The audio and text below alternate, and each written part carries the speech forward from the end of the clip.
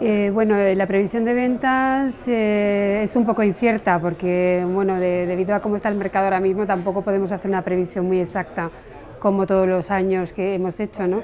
Este año va un poco en función de, de, golpes de impulso, ¿no? digamos. ¿no? Entonces, la previsión para nosotros sería un éxito, eh, por lo menos crecer un 5 un 10% con respecto al año pasado, que ya no fue un año bueno para la venta de cruceros debido a los problemas que hubo con el Costa Concordia. ¿no?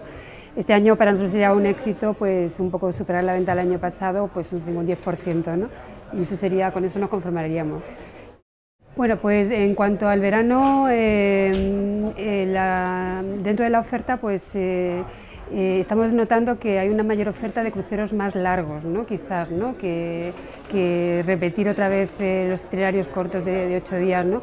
Contamos con compañías navieras que, apuestan a itinerarios un poco más largos.